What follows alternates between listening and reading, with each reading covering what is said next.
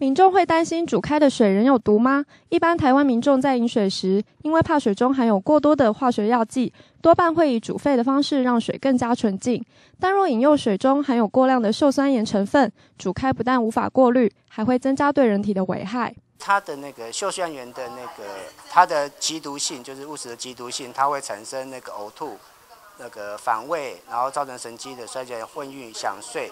最后甚至造成死亡，但民众不用再担心了。环保署今天公布至七月为止抽测饮用水的结果，在抽测的三百一十二件样品中，全数符合规定。环保署环境检验所组长潘富华受访时表示：“呃，我们抽验的我们的那个三百一十二处做的结果是从 ND 一直到零点零零三零，然后我们全部那个我们管制标准是零点零一零那个 ppm。”所以以上都符合我们的的检测项目。所有检测的地区包括从北到南的各个县市，民众可以放心饮用煮开的饮用水。台湾醒报记者陈思翰、李冠燕采访报道。